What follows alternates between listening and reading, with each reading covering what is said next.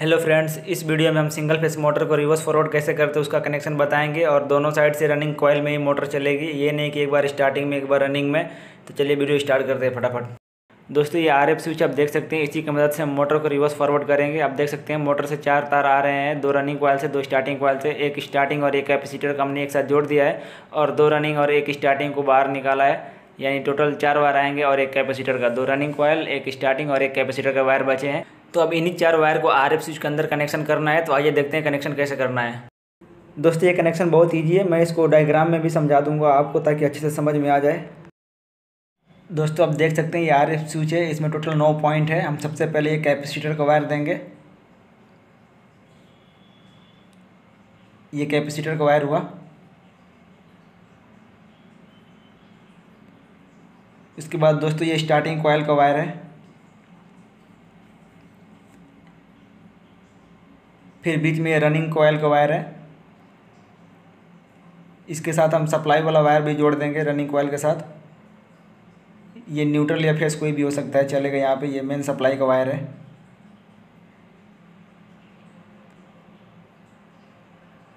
और ठीक इसी के बाजू में हम दूसरा रनिंग वाला वायर जोड़ देंगे। बीच वाले दोनों पॉइंट में रनिंग का वायर रहेगा और यहाँ पे भी एक लूप लगाएँगे। यहाँ से फेस या न्यूट्रल दोनों में से कोई एक आएगा और जो इधर फेस आएगा तो उधर न्यूट्रल आएगा, ज़ाहिर सी बात है। और इस लूप को हम साइड में जोड़ देंगे।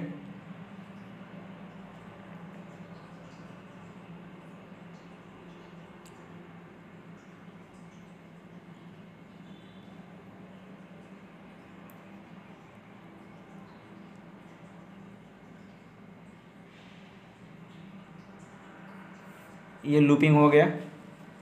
अब यहाँ पे ये न्यूट्रल वाला है और इसके साथ एक लूप लगाएँगे।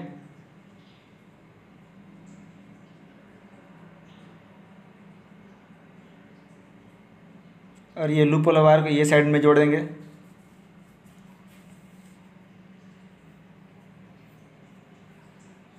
बहुत सिंपल है, बहुत इजी है।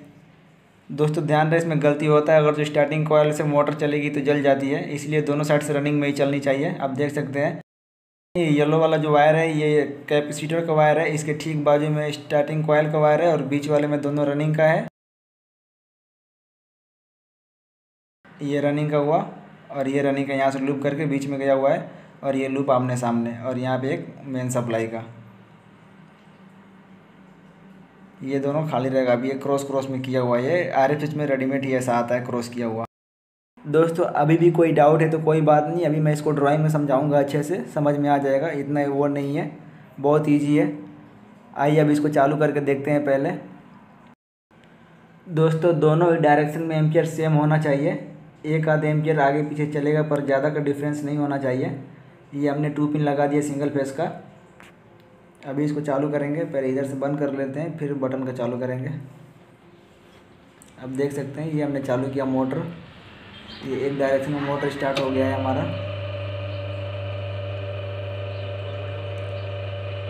अब दूसरी डायरेक्शन में चेक करेंगे।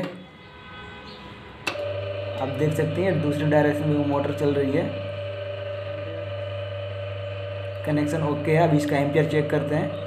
आप देख सकते हैं, ग्यारह एम्पियर ले रहा है, साढ़े ग्यारह एम्पियर दूसरे फेस में चेक करते हैं। यहाँ पे भी लगभग बारह एम्पियर, आधा एम्पियर ज़्यादा कोई बात नहीं, उतना चलता है थोड़ा बहुत तो। आप देख सकते हैं इसका डायरेक्शन रिवर्स फॉरवर्ड दोनों डायरेक्शन में मोटर चल रहा है।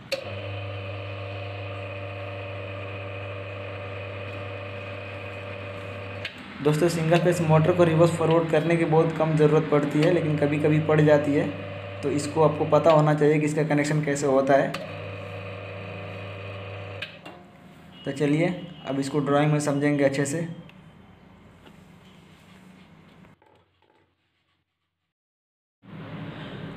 तो दोस्तों, चलिए डायग्राम बना के समझते हैं कनेक्शन कैसे करना है डायग्राम से देखते हैं। ये हो गया हमारा R F switch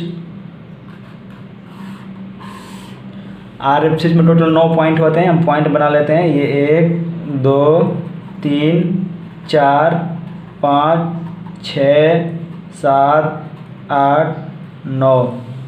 तो दोस्तों, ये नौ पॉइंट हो गए आर एफ़ स्विच में और ये क्रॉस पहले से किया हुआ आता है आर एफ़ स्विच ये ऐसे क्रॉस रहता है और ये ऐसे क्रॉस रहता है, ये ऐसे शॉर्ट किया हुआ होता है। अब हमें कनेक्शन कैसे करना है दोस्तों? तो सबसे पहले हम यहाँ पे बना लेते हैं। ये हमारा हो गया कैपेसिटर का पहला वाला वायर ये कैपेसिटर का दूसरा वाला वायर अब यहाँ पे ये रनिंग का पहला वाला वायर और ये रनिंग का दूसरा वाला वायर और ये स्टार्टिंग कोयल का पहला वाला और ये स्टार्टिंग का दूसरा वाला। तो दोस्तों, अब कनेक्शन आपको कैसे करना है? तो जैसे देख लीजिए कैपेसिटर का पहला वाला और स्टार्टिंग का पहला वाला, ये दोनों को हम जोड़ देंगे एक साथ, जोड़ के टेप कर देंगे, ठीक है? अब बचेगा चार वायर एक, दो, तीन और चार। तो सबसे पहले ये जो कैपेसिटर का वायर है, हम यहाँ पॉइंट से जोड़ देंगे, ये वाले पॉइंट से। ये हो गया कैपेसिटर का वायर और ये जो स्टार्टिंग का दूसरा वाला वायर है, ये हम यहाँ पे जोड़ देंगे। ये स्टार्टिंग का वायर हो गया दूसरा वाला। अब ये जो दोनों रनिंग का वायर है दोस्तों, ये दोनों रनिंग का वायर हम ये बीच वाले पॉइंट में यहाँ पे जोड़ देंगे, एक यहाँ पे, और ये दूसरा वाला यहाँ पे, कुछ इस तरीके से। तो दोस्तों, आप देख सकते हैं, दोनों रनिंग वाला बीच में है, एक रनिंग का यहाँ पे, दूसरा वाला रनिंग का यहाँ पे है, और ये स्टार्टिंग का यहाँ पे है, नीचे वाला, और ये कैपेसिटर का वायर यहाँ पे दिया हुआ है, और एक कैपेसिटर और एक स्टार्टिंग का हमने यहाँ पे जोड़ के इसे साइड में कर दिया है। अब दोस्तों, हमको मेन कैसे देना है वो मैं बता दूँ। एक मेन हम यहाँ पे देंगे। ये हमारा एल हो जाएगा, या एन हो जाएगा, कोई भी हो सकता है। फेस या न्यूट्रल और उसके बाद यहाँ से एक लूप करके हम यहाँ से ऐसे लूपिंग कर देंगे। और ये यहाँ से, यहाँ पे हम एक वायर देंगे। या ये फेस हो जाएगा, या ये न्यूट्रल हो जाएगा, कोई भी। तो इस तरीके से हमको कनेक्शन करना है। दोस्तों, ये जो लूपिंग किया हुआ है, ये भी आर एफ़ स्विच में किया हुआ आता है पहले से। हमने वीडियो में इसको लूपिंग किया हुआ है बाद में। तो अगर जो ये लूप नहीं है तो आप इसको लूप कर सकते हैं। दोस्तों, हम यहाँ पे एक दूसरी ड्राइंग की बात कर रहे हैं। आप देख सकते हैं, यहाँ पे हमने आर एफ़ स्विच बना लिया है सारा सब कुछ। यहाँ तो ये सब सेम ही रहेगा, ये कैपेसिटर और स्टार्टिंग का वायर सेम ही रहेगा। ऐसे लूप कर देंगे, जोड़ देंगे साथ साथ में। उसके बाद क्या करेंगे दोस्तों, ये जो कैपेसिटर का वायर है, वो भी यहीं पर रहेगा। और ये जो स्टार्टिंग का वायर है, वो यहाँ पे आएगा, यहाँ पे, इसके साथ। और ये जो रनिंग का वायर है, वो इसी के साथ रहेगा और ये दूसरा वाला इसके साथ रहेगा। और यहाँ से ये लूप करके इसमें रहेगा और यहाँ से हम एक न्यूट्रल देंगे और यहाँ पे फेस देंगे। तो सारा सब कुछ दोस्तों सेम ही है, बस यहाँ पे ये ये कैपेसिटर का वायर यहाँ पे दिया हुआ है और ये स्टार्टिंग का यहाँ पे ना देके इसी के सामने यहाँ पे दिया हुआ है। तो ये कनेक्शन भी सही है और पहले वाला भी सही है। दोनों कनेक्शन सही है, आपको जो मज़ा आए, वो ऐसा कर सकते हो। दोनों में मोटर रिवर्स फॉरवर्ड होगी। दोस्तों, आज के लिए बस इतना ही। मिलते हैं नेक्स्ट वीडियो में एक न्यू टॉपिक के साथ।